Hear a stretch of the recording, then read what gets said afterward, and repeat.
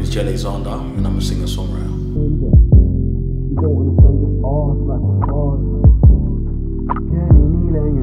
Don't care what people say, that's why I'm fucking with you. If you trip up, don't worry, just keep going. Yeah. Keep going. Go again. Back when I was growing up, the kind of music that was being played, there was a lot of reggae, a lot of soul music for sure. 100% a lot of soul music. My mum used to listen to a lot of Aretha Franklin. My mum listened to quite a lot of contemporary gospel. My dad listened to quite a lot of uh, Choli music, which is our, our home music. Choli music, he listened to quite a lot of Lingala, but there was R&B, soul being played all the time. And all that has kind of helped within my sound because I feel like I'm trying to get all those influences and put it into my music. Deal with you, but it is cool. Switch it up anytime. Girl, I wanna show you a trilogy. You said you like when I rhyme, but you love it when I start singing me. It's clear to see that you're feeling me, so come over here and start feeling me. Cause I'm over here trying to give a beat, but you're over there thinking about me. But piano kneeling and I just don't care what people say. That's why I'm fucking with you. My cultural background is from Uganda, northern Uganda to be exact, and that's where my parents originate from. And they came over here in the late 80s to the UK and they met in London. Not many people know this, but I'm actually bilingual. So English is my second language, which I learned when I got to nursery about three years old. Um, my first language is Acholi, which is my native language from northern Uganda. I'm currently working on a single with my little brother LK, which is just about fusing two languages together, which is Acholi and English. Um, I think it actually came about from a tweet or a post that I made on Snapchat where I just put fun fact about Jay Alexzander, I'm bilingual, and people were shocked like, whoa, really? So I started thinking to myself, maybe I should do something with my language that can show that I can speak it.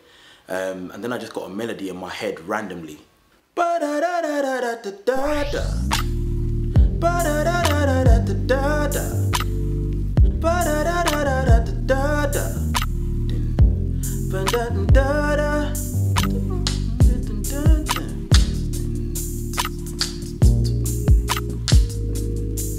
Thought, oh, my language can fit in pretty well with that. So then, um, once I had like the verse sorted, I thought, who else can jump on the song? Jay brought it to me and said, look, I want to put this track together using our language. You should jump on it, of course, because I speak it too. And I just took it on, wrote the verse, then put the track together. Know this may seem weird, cause I ain't your man, but I'm always there to lay it down for you. Go rounds with you, get a quick bite, maybe a cheeky Nando's or TGI's, I don't mind. Liverpool as a city is just absolutely amazing. It's so vibrant. The Scousers are just amazing people. Um, they're so friendly. Like I just remember walking down the street when I first got there and people just like, hi mate, you're alright? And I'm just looking confused because I've never experienced that kind of thing in London. So literally, we lived on top of this place here called Walk and Go. So those windows right at the top, that was our living room. We used to come over, that club used to play the hip hop, R&B, bashment, like that was the spot. We used to go in there and just vibe out, man. Even with the historical aspects, with the Beatles and loads of different bands that come out of Liverpool, it's just an amazing place to be. When I first walked into LIPA, I was very, very nervous because there were so many talented people there and talking to people, people just had like, they knew what they wanted out of it and I was just a little guy who could just happen to, I could just sing. Like I wasn't taking it seriously or anything at that point. Um, so I was very, very nervous, very nervous. What's this? What's this? What's all that? Superstar life, yeah? Oh, look at you. That's big coming from you, isn't it? Oh, man. It's good to see you, mate.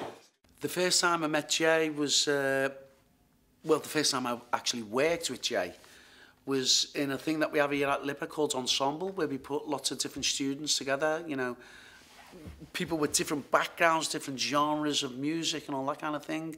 And just basically to see how they work with each other, how they get on, how they create together. Um, and I went into a room, um, walked into the room, we were going through the songs, what, we might choose. I think I selected uh, a Luther Vandross song or something like that. Jay started singing it and absolutely nailed it completely. And we thought, yep, that's the future.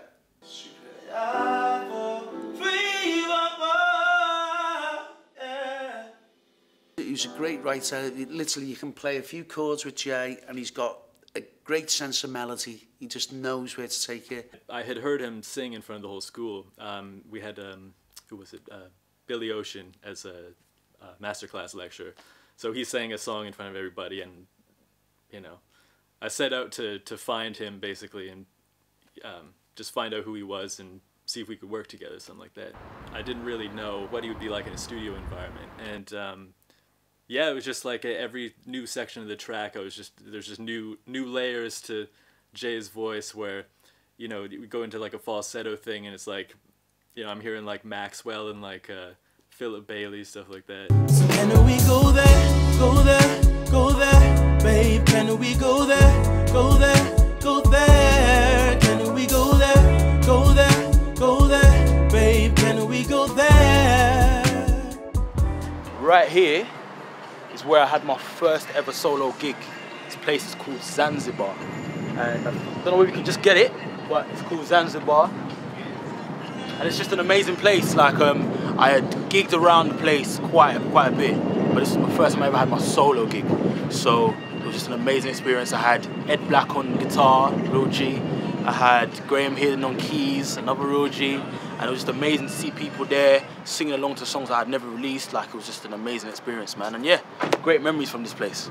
I met Jay at a festival when I was um, in Ade Suleiman's band. I only met him briefly, and um, then I met him again when he joined Ade Suleiman's band as a backing vocalist.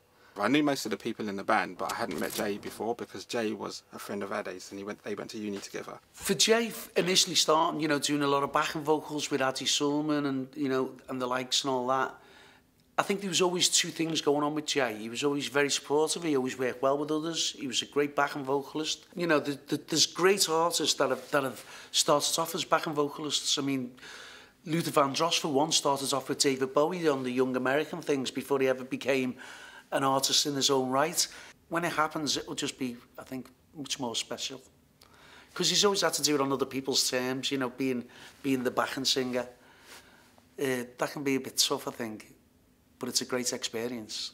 I didn't hear any of Jay's solo material until we did another few tours, and then and we decided we was going to work together. And then I said, look, can you just send me your stuff so I can hear what vibe you're going for and stuff.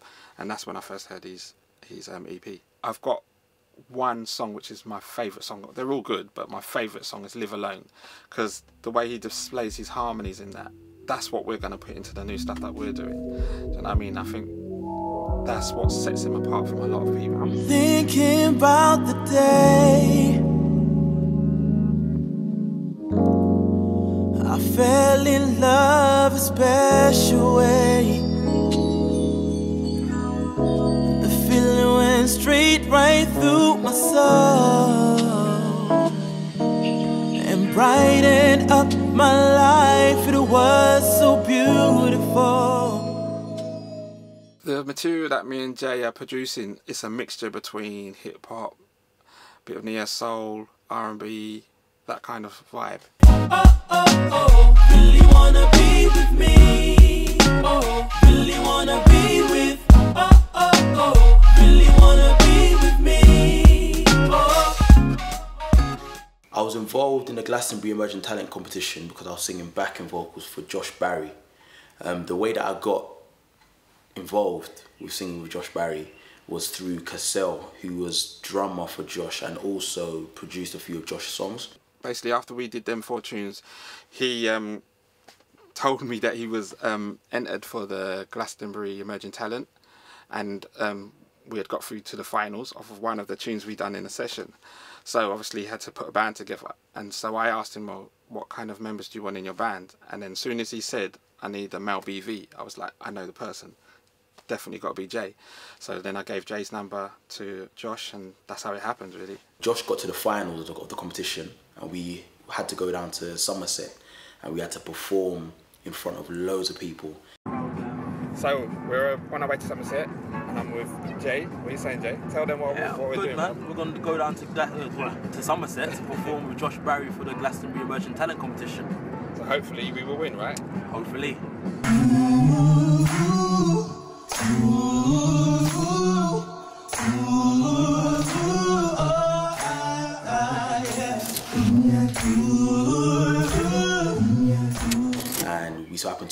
So we played Glastonbury this year seven times, which was an amazing experience. I always thought it would take the UK a long time to get something like Jay. We used to have these conversations many occasions where it'd be, Jay, go to America, go to America, they'll get us so much more. You know, they, they, they, they're just more up for it over there. The likes of Eddie Lundon just said, no, you can do it, and just gave me that confidence and that belief to just go out there and just try it. I can happily now sing backing vocals for someone as well as be a lead.